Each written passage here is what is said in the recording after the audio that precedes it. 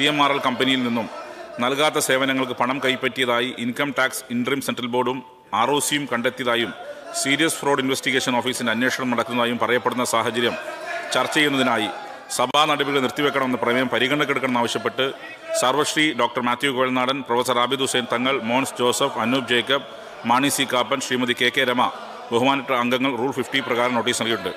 അടിയന്തര please please please അടിയന്തര പ്രമേയ നോട്ടീസുകൾ അനുമതി നൽകുന്നത് സംബന്ധിച്ച് ചട്ടങ്ങളിലെ ചട്ടം അമ്പത്തിരണ്ട് ക്ലോസ് ഒമ്പത് അമ്പത്തിമൂന്ന് എന്നിവ അനുസരിച്ച് ഈ നോട്ടീസ് അനുമതി നൽകാൻ കഴിയില്ല എന്നറിയിക്കുകയാണ്. Order order order order order yes yes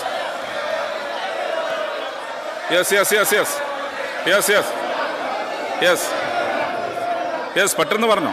sir ഈ ഈ അടിയന്തര പ്രമേയം റൂൾ ഫിഫ്റ്റി ടുവിന്റെ ഒരു ക്ലോസും വയലേറ്റ് ചെയ്യുന്നില്ല. ഞാൻ അങ്ങയുടെ റൂളിങ്ങിനെ പക്ഷേ ഒരു തരത്തിലും ക്ലോസ് ചെയ്യുന്നില്ല.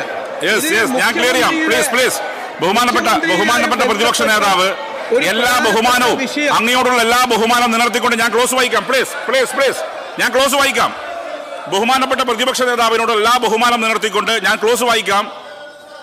Rule fifty three rule fifty three please please please please please please ഞാൻ റൂൾ വായിക്കട്ടെ. ചെയർ റൂൾ വായിക്കട്ടെ.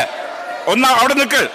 Rule fifty three no motion which seeks to raise discussion on a matter pending before any statutory tribunal or statutory authority performing any judicial or quasi-judicial functions or any commission or court of inquiry appointed to inquire into or investigate any matter shall ordinarily permitted to be moved.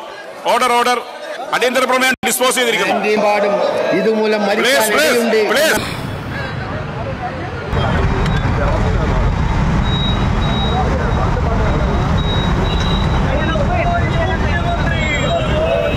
മുഖ്യമന്ത്രി സത്യത്തിൽ ഈ സ്ഥാനത്തിരിക്കാൻ യോഗ്യനല്ല കാരണം ഒരു വളരെ പ്രധാനപ്പെട്ട അന്വേഷണം അദ്ദേഹത്തിനെതിരായി നടക്കുകയാണ്. അപ്പോൾ അദ്ദേഹം ഇന്ന് ഞങ്ങൾ നിയമസഭയിൽ ഈ വിഷയം കൊണ്ടുവന്നപ്പോൾ അദ്ദേഹം ഒളിച്ചോടുകയാണ് ഉണ്ടായത്. നിയമസഭയിൽ പോലും ഇന്ന് വന്നില്ല. മുഖ്യമന്ത്രി ഒരക്ഷരവും പറയാതെ രണ്ട് കൈയും പൊക്കിപ്പിടിച്ച് ആ രണ്ട് കൈയും പരിശുദ്ധമാണ് എന്നാണ് പറഞ്ഞത്. ഇപ്പൊ രജിസ്ട്രാർ ഓഫ് കമ്പനീസ് പറയുന്നു എല്ലാ അവസരം കൊടുത്തിട്ടും ഇവർ ഒരു രേഖയും ഹാജരാക്കിയില്ല. കാരണം ഇവരുടെ കയ്യിൽ ഒരു രേഖയും ഇല്ല. അപ്പോൾ മുഖ്യമന്ത്രി നിയമസഭയിൽ പറഞ്ഞത് പച്ചക്കള്ളാണ്.